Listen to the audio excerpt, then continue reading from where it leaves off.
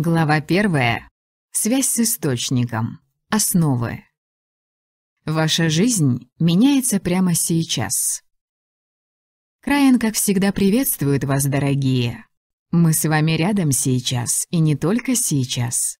На самом деле мы рядом всегда, потому что все мы с вами вместе – члены единой божественной семьи.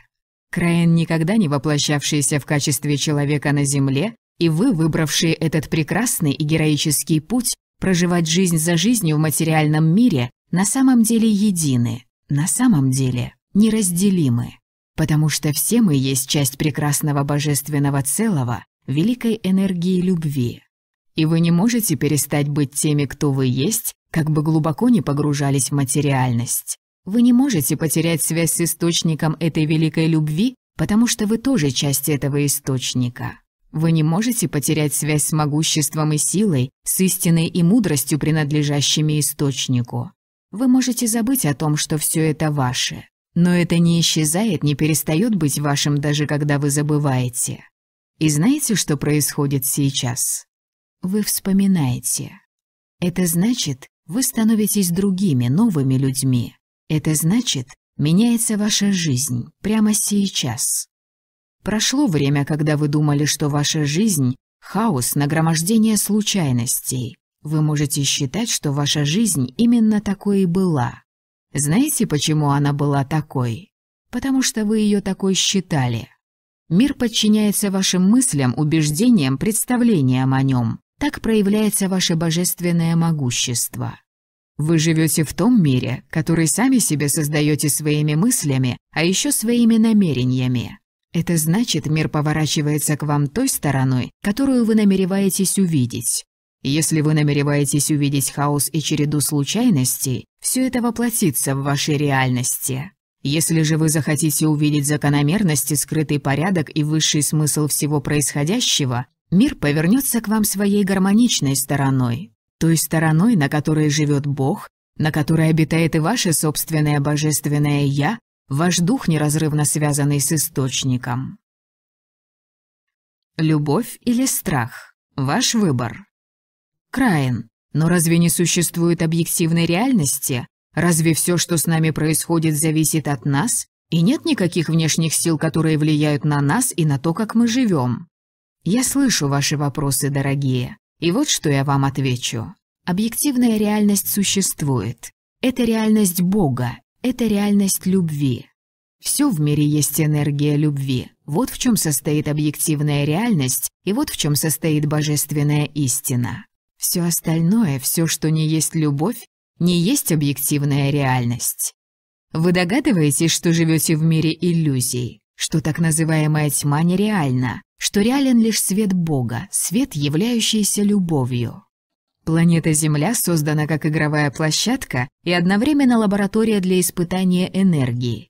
Здесь созданы искусственные условия, где действуют энергии, противоположные свету и любви Бога, страх и тьма. Они не настоящие. Но вы этого не помните, пока живете на Земле. Для вас здесь все более чем реально. Для чего это было сделано? Чтобы вы могли закалить энергии любви и света Бога в этих непростых условиях чтобы вы могли проверить их силу и сделать их еще сильнее и ярче. Ведь вы несете их в себе. Вы пришли на Землю, чтобы принести сюда божественные энергии, просветлить Землю. Но для этого надо не сдаться тьме и страху, не дать им власти над собой. А они, эти ненастоящие иллюзорные энергии, пытаются захватить власть. И знаете почему? Потому что вы, опасаясь их по-настоящему, делаете их сильнее. И в этом тоже проявляется ваше могущество. Вы можете сделать любовь сильнее, но вы можете сделать и страх сильнее. Все зависит от того, что вы выбираете. Я говорю это для того, чтобы вы могли понять, является ли ваша жизнь светлой и гармоничной или темной и страшной, зависит не от каких-то объективных условий. Это зависит от того, какой выбор вы делаете. Вы выбираете вспомнить свою связь с источником любви или забыть о ней и поддаться страху. Заметьте, что вы делаете этот выбор не единожды и не дважды, вы делаете его буквально каждый миг. В каком состоянии вы находитесь прямо сейчас? Тревожны, напуганы, напряжены или умиротворены и жизнерадостны? Страх или любовь руководит вами? От чего это зависит? Можете ли вы это изменить? Когда вы в страхе и в различных его проявлениях, унынии, обиде, враждебности, нетерпении, тревоге, раздражении, вы теряете связь с источником. Невозможно быть одновременно в свете и во тьме, невозможно быть одновременно в страхе и в любви. Вы всегда выбираете только одну сторону. Но позвольте вам напомнить, выбирая страх, вы выбираете иллюзорную реальность, то есть нечто ненастоящее, несуществующее, и тем самым отказываетесь от истинной реальности, реальности Бога, реальности любви. Ненастоящая реальность – это пустота, там нет никаких законов. А там, где нет законов, там действует хаос и череда случайностей. Вы понимаете, что происходит? Вы говорите, почему Бог мне не помогает? Почему у меня все не так, как надо?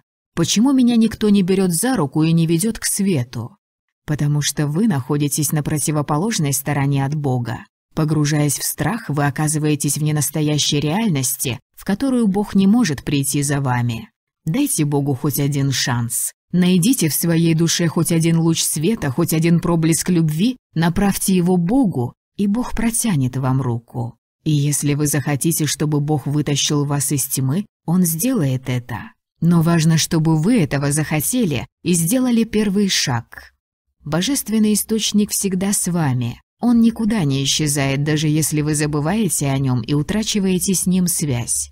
Но вы можете в любой момент вернуться к нему, и вы поймете, что Бог никогда не отворачивался от вас. Он просто ждал, когда вы повернетесь к нему. Восстанавливая связь с божественным источником, вы оказываетесь на светлой стороне реальности, точнее в настоящей реальности, которая есть свет и любовь. Вы оказываетесь в той реальности, где действуют законы гармонии, где нет случайностей, а есть закономерности, где нет предопределенности, но есть сила творчества и созидания, где есть знание, как прийти к тому лучшему, чего вы достойны, где вы можете найти путеводную нить своей судьбы. Вам даны бесценные инструменты. Не забывайте ими пользоваться. Вы пришли в мир человеком со свободной волей и с необходимой вам силой, которой достаточно, чтобы выбрать самый благоприятный путь и идти по нему. Вы пришли на Землю, неся в самих себе связь с источником знаний и помощи на вашем пути. Но представьте себе, что вы забываете пользоваться этими бесценными инструментами, вы похожи на туриста, который заблудился в лесу темной ночью, забыв, что у него в рюкзаке есть действующий навигатор и мощный фонарь, и не зная, что дорога, ведущая домой, проходит в нескольких метрах от него. Вспомните об этих инструментах, преодолейте свое незнание и неверие. Подумайте о том, что мир, возможно, устроен иначе, чем вы думали раньше и чем вас учили в школе. Если вы были уверены в непогрешимости ваших прежних знаний, то попробуйте просто обратиться к себе и спросить, «Это в самом деле так? Мир устроен так, как я всегда думал? Истина в том, что жизнь несправедлива, она нагромождение случайностей? Мы вынуждены жить в страхе, потому что не знаем и не можем узнать, что нас ждет завтра?» Не думайте о том, кому вы обращаете вопросы, и не ищите логических обоснований тому, что вы делаете. Просто вслушайтесь, вчувствуйтесь в себя. И если вы не позволите логике и прежним привычкам в мышлении закрыть от себя истину, вы почувствуете, что внутри вас в самом деле есть источник, из которого может прийти знание, и ваши вопросы не уходят в пустоту. Они идут туда, откуда могут прийти ответы. И вы заметите, что ответы приходят. Они могут приходить разными путями. К вам они придут тем путем, который наиболее приемлем для вас. Если вы привыкли получать знания из книг, и вам комфортен такой способ их получения, вы узнаете ответ из книги. Если вам привычно времяпрепровождение у телевизора, вы получите ответ из телепередачи. Если вы любите общаться и разговаривать с разными людьми, вы получите ответ в разговоре, на вашем пути просто встретится тот человек, кому вы доверяете, и кто знает ответы на ваши вопросы. Если вам нравится улавливать идеи прямо из воздуха, вы получите их из воздуха. Просто поймете, что вам известен ответ. Это к вопросу о том, как приходят знания, потому что мы знаем ваши вопросы. Хорошо, Допустим, у меня есть связь с источником знаний, но ему же нельзя позвонить по телефону, так как же я получу ответы? Вы получите ответы именно так, как вы можете их получить. Вам не придется осваивать какие-то непонятные и чуждые вам способы получения этих ответов. Поэтому вам не следует бояться голосов в голове или чего-то подобного. Этого не будет, если вы только сами не захотите. Ничего не произойдет против вашей воли. В этом проявляется мудрость Бога и любовь Бога. Что вы думаете о Боге? Вы боитесь контакта с источником, потому что видите в этом угрозу для себя. Вам кажется, что это какая-то внешняя сила и чужая воля, которая подчинит вас, заставит следовать правилам совсем вам неподходящим и будет наказывать за их нарушение? Эти ошибочные представления о Боге развеются как дым, когда вы осознаете, что Бог не является внешней силой по отношению к вам. Бог внутри вас. Вы часть Бога, Бог часть вас. Это единство, божественное единство, в котором вы пребываете, и это любовь, выше которой ничего нет. Что вы думаете о Боге? Как вы относитесь к Нему? А можете ли вы представить, что ваше отношение с Богом – это самая нежная, искренняя и теплая дружба? Можете ли вы представить, как берете Бога за руку, как Бог держит вас в объятиях, как вы вместе с Богом, как с лучшим другом, который как никто понимает и любит вас, Идете по жизни, решаете свои каждодневные задачи, справляетесь с трудностями. Какой была бы тогда ваша жизнь? Попробуйте представить себе это. А теперь попробуйте представить себе, каким вы должны стать, чтобы идти по жизни за руку с Богом. Может, вы думаете, что должны стать совершенным, идеальным, непогрешимым? Нет. Может, вам кажется, что Бог возьмет за руку только немногих избранных? Нет. Может, вы считаете, что любовь Бога необходимо заслужить какими-то невероятными подвигами? Нет. Чтобы идти по жизни за руку с Богом, вам необходимо только одно – поверить, что это реально, избавиться от сомнений. Поверить в то, что вы, как и каждый человек, достойны этого безо всяких условий. Вам не нужно становиться идеальным героем. Бог любит вас таким, какой вы есть. Бог возьмет вас за руку, если вы протянете руку. Больше ничего не надо. С доверием протянуть открытую ладонь. Вы можете сделать это? Все изменится. Вы почувствуете умиротворение, покой и любовь, которая спасает и защищает, просветляет и вдохновляет. Вы почувствуете, как Бог говорит вам. Все в порядке, не бойся, все будет хорошо. Вы почувствуете, как уверенная и любящая рука ведет вас сквозь все препоны к тому, что будет лучшим для вас. А еще вы почувствуете, что вовсе не являетесь слепцом, который идет за поводырем. Бог слышит ваши желания и знает вашу волю. Бог учитывает именно ваши потребности. Он знает все о вас. Он знает, что вы любите, а что нет. Бог старается сделать так, чтобы в вашей жизни было как можно больше того, что вы любите, и как можно меньше того, что вы не любите. А если даже случается иначе, если вам приходится делать то, что вы не любите, Значит, это тоже в конечном итоге пойдет вам на пользу, и Богу об этом тоже известно. Путеводная нить судьбы в ваших руках. Вы понимаете, о чем мы говорим? О новом способе жизни. Представьте себе, бывает жизнь по расчету, а бывает жизнь по любви. Да-да, и вам прекрасно известно это. Самое интересное, что многие люди думают, что можно все рассчитать, предусмотреть каждый шаг и в итоге получить любовь. Но так не бывает. Любовь нельзя рассчитать. Для любви нужны доверие и открытое сердце. Любовь идет не от рассудка. Любовь – результат сотрудничества разума и сердца. Сотрудничество разума и сердца дает в итоге мудрость. Мудрость – это не то, к чему можно прийти путем холодного расчета и логических умозаключений. Мудрость приходит из высших источников, когда вы открыты им, даже если не знаете заранее, к чему в итоге придете. Жить, руководствуясь высшей мудростью, это все равно, что держать в руке один конец путеводной нити, не видя, куда она ведет и где заканчивается. Впереди туман, нить скрывается где-то за горизонтом, но она испускает золотое сияние, свет любви, и вы доверяете этому свету. Вы чувствуете в нем правду, и потому вы идете за ним, даже не зная, куда он ведет. Вот что такое жизнь по любви. Если вы держите в руках нить, сияющую светом любви, то она приведет вас к любви и только к любви. и везде вас по дороге будет сопровождать любовь, ведь вы держите ее в руках. Человек, живущий по расчету, скажет, «Ну нет, я не знаю, что это такое и куда меня это приведет. Выберу-ка я дорогу понадежнее». Но он выберет то, что только кажется ему надежным. Он выберет дорогу, на которой все известно заранее, так ему представляется, и на которой, как он думает, успех гарантирован. Но он не знает, как устроен мир на самом деле. Он не знает, что без путеводной нити любви попадет только на призрачную, ненастоящую дорогу, и она может просто рассыпаться в прах под его ногами и привести его совсем не туда, куда он хотел прийти. Золотая путеводная нить — это ваша внутренняя мудрость, которая исходит из божественного источника. Эта золотая нить уже в ваших руках. Вам не нужно ее искать, она ваша. И в вашей воле решать, воспользоваться ею на своем пути или выбрать то, что кажется надежнее.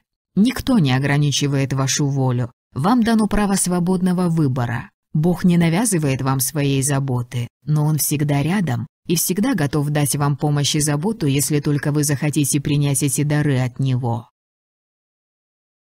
Бог бережет ваши силы и время. Краин, но неужели Бог хочет, чтобы мы шли вслепую, не видя цели и не зная, что нас ждет впереди? Дорогие, все совсем наоборот. Вы идете вслепую, когда движетесь к цели, не заручившись поддержкой Бога, потому что Бог внутри вас видит дорогу, которую вы как человек не видите.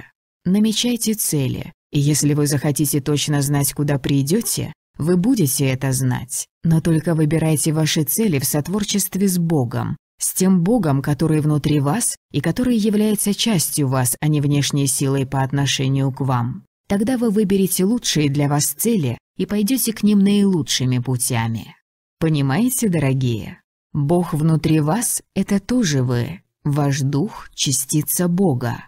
И Он пребывает в божественном доме, в божественном измерении реальности. Оттуда, образно говоря, виден весь мир в его многомерности. А потому Богу внутри вас очень хорошо известно, что ждет вас за поворотом. У вас в каждый момент вашей жизни имеются огромные возможности выбора, даже если вы этого не замечаете. А потому ваша судьба не предопределена, существует множество ее возможных вариантов. Потенциально перед вами много дорог, и вашему духу, Богу внутри вас, видны результаты каждого из этих потенциальных вариантов. Вы же живете в трехмерном пространстве и линейном времени. Без помощи Бога вы не можете заглянуть за горизонт.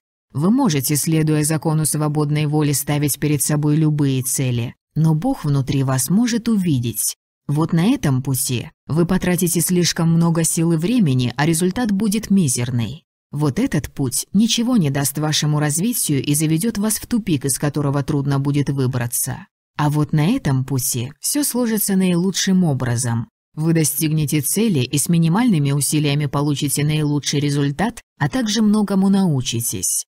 Бог бережет ваши силы и время. Он не хочет, чтобы вы все это тратили впустую, получая минимальный результат или даже вовсе не получая результата ценой огромных усилий. Вы пришли на Землю, чтобы быть здесь эффективными. Бог помогает вам в этом всеми силами, Бог дает подсказки, как этого достичь. Вы как человек можете ошибаться, выбирая цели и пути к ним. Бог внутри вас не ошибается. Как вам вступить в контакт с Богом? Дорогие, вы уже в контакте с Ним. Просто осознайте это и примите это как свою реальность. Вам не нужно слишком стараться, вам не нужно осваивать какие-то особые навыки. Все, что вам нужно, уже есть у вас. Достаточно вашего намерения.